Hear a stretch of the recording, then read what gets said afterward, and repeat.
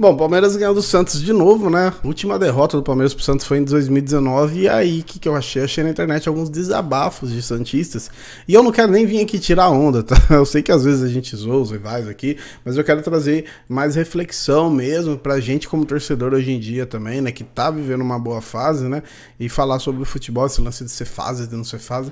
Mas vamos ver primeiro aí o que, que eles falaram, né? Sobre a derrota, sobre a semana aí, pré-clássico. E aí depois a gente volta para comentar. Vamos então pra primeira aí, ó. A Isabel Nascimento. Ela. Enfim, vamos ver o que ela falou primeiro. Na verdade, eu acho que assim. É muito triste o que a gente tá vivendo. Eu acho que é uma das fases mais tristes que eu já vivi nesse canal. Eu acho que é um terceiro ano seguido de coisas que não tem perspectiva, de momentos que não tem esperança. Hoje é muito difícil, assim. Eu confesso que desde a última partida da, da, da última semana eu tava muito nervosa com esse jogo. Eu passei muito mal esses últimos dias, nervosa com esse jogo, pensando que podia ser, seja mais um 7 a 1 em cima do Santos, seja alguma derrota histórica. Eu sonhei que o Palmeiras fazia 19 gols no Santos. Eu perdi o, primeiro, começo do, do, do jogo, porque eu tava tão nervosa que eu precisei sair de casa para dar uma volta e tomar um ar.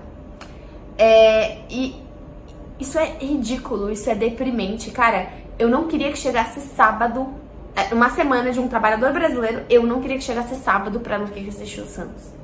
E o pior de tudo é que você terminar uma partida fazendo um gol no Palmeiras já é o que a gente nem imaginava. Cara, eu sou uma pessoa que eu apaixonada por doce. Eu prometi que eu ficaria um ano sem comer doce se o Santos empatasse. É, essa é a primeira, eu queria realmente esse trecho e depois eu vou aqui com o Bruno Oliveira do Ele Não Disse Isso, que é do TikTok. Vamos ver aí falar, pode até ser por dó, mas deixa o like aí para esse vídeo ser propagado e chegar em mais gente. O Santos Futebol Clube está numa situação desesperadora. Vai ter aí Vascaíno falando que não, pô, você não sabe o que é sofrer. Mas, gente, vamos lá. O Santos hoje não consegue competir.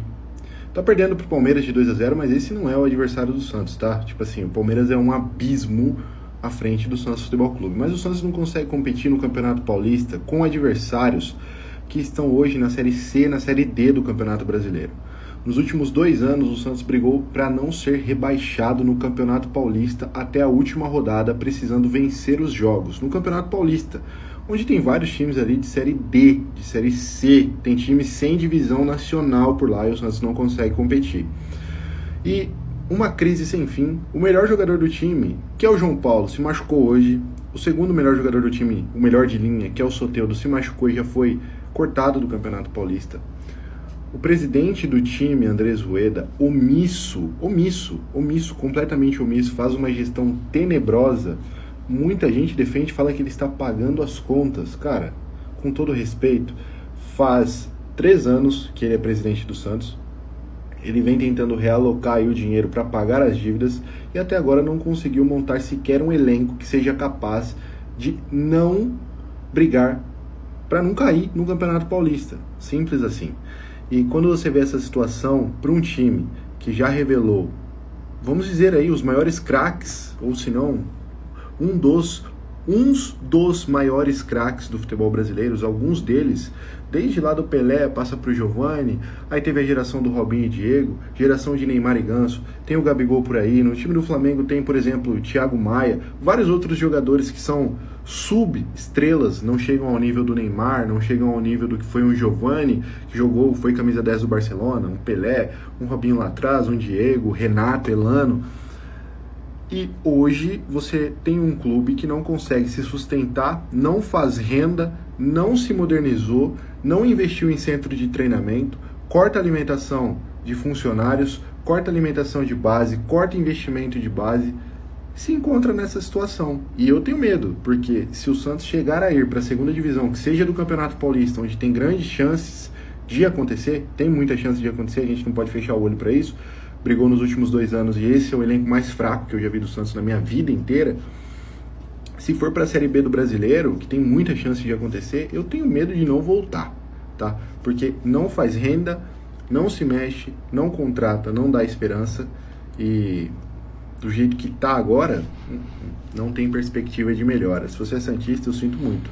Ah, velho, preciso um desabafo, é, dois desabafos aí extremamente sinceros, né? Você vê até o tom de voz ali de sinceridade mesmo, né? Tipo, pra, nossa, vou irritar na internet. Não, realmente é, é sincero e o que qual que é a reflexão que eu queria trazer disso aqui? Que o futebol ele passa por fases, né? A gente teve o Santos muito em alta, né? Ele até citou aí os caras que foram revelados pelo Santos, né? O Santos tipo, sempre com a base voando e revelando muita gente, tendo um time legal. O São Paulo passou por esse momento também de ter uma base muito foda e tá ganhando tudo. O Corinthians também. E agora é, o Palmeiras que já passou por essa fase voltou à fase de vitórias e vem se mantendo. E o que eu quero dizer com isso é que muita gente fala: futebol é fase. Eu já falei e bato nessa tecla até o final.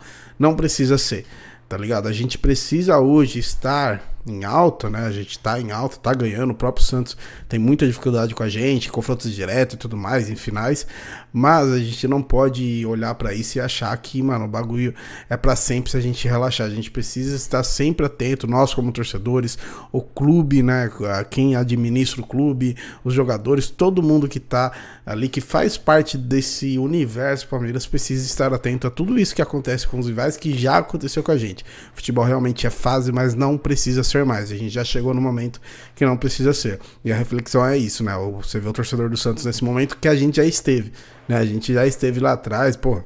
Tenho 30, vou fazer 33 anos agora. Cresci na escola sendo zoado, tá ligado? Dependendo da idade sua também. Então a gente já passou por isso e a gente espera não passar mais para mas para não passar mais a mentalidade tem que ser diferente, tem que ser outra. Beleza? Comenta aí. Quero agradecer, inclusive vou deixar o link aqui do canal e do TikTok, no canal da Isabel e o e o TikTok do do Brunão.